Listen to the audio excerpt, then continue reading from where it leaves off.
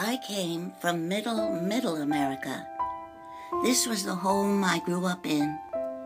This is my mama and dad in 1956. This is my great grandmother who came west in a covered wagon.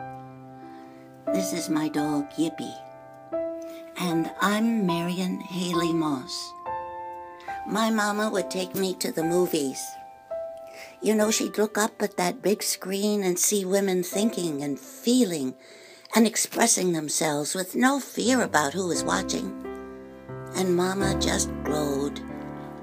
Mama had been acting all her life, but to be a recognized actress meant freedom and romance and respect.